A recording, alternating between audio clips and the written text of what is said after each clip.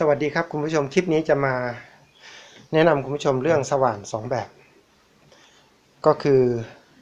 อันนี้เป็นยี่ห้อมากิต้าเป็นแบบ professional นะครับ อันนี้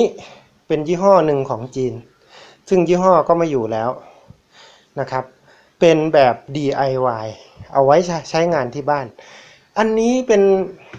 อันนี้ก็ 750 วัตต์นะครับ อันนี้ก็ 750 วัตต์ ตัวนี้ 1,500 บาท ตัวนี้ผมซื้อมาตอนนั้น 8,500 บาท ก็เหมือนกันนะคุณผู้ชมแรงเท่ากันเลย ทุกอย่างเหมือนกันหมด แต่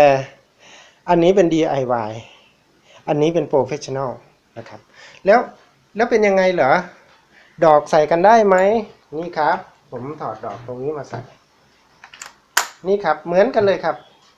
ทุกอย่าง ใช้งานอย่างเดียวกันหมด แล้วความพิเศษของมันนะฮะของของสว่าน DIY พวกนี้ก็จะมีลักษณะพิเศษนะคุณผู้ชม อันนี้ถอดหัวได้คุณผู้ชมครับนี่ครับ แล้วสามารถถอดหัว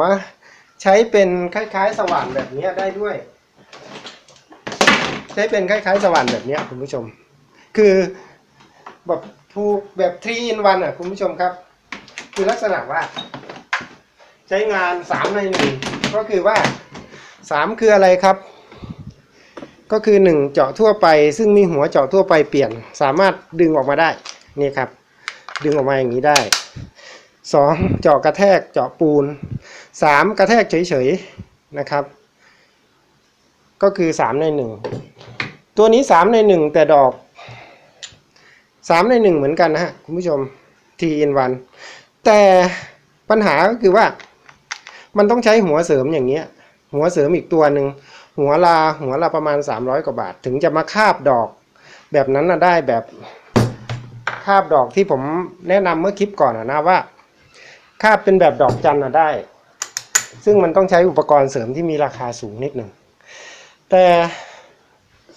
ผมใช้งานอันนี้อเอาไปใช้งานรับเหมานะฮะคุณผู้ชม ประมาณตึกหนึ่งนะครับ ก็ได้ตึกหนึ่งกับบ้านหลังหนึ่งคุณผู้ชม ก็พัง อันนี้ใช้งานมาไม่มีปัญหาอะไรนะครับ ยังไม่ได้ซ่อม ก็ใช้งานมาตัวนี้ประมาณอ่าประมาณเก้าปีแล้วคุณผู้ชม ยังไม่ได้ทำอะไรนะครับอันนี้ใช้งานมาประมาณใช้จริง ๆ ประมาณสามเดือนนะครับ พังครับ แต่ว่า ก็ไม่ได้น่ารังเกียจอะไรนะคุณผู้ชมก็ซื้อติดบ้านไว้ มันเจาะปูนได้ มันเจาะธรรมดาได้ทุกอย่างนะครับ ก็แยกการใช้งานให้ดีดูที่ราคานะครับคุณผู้ชม professional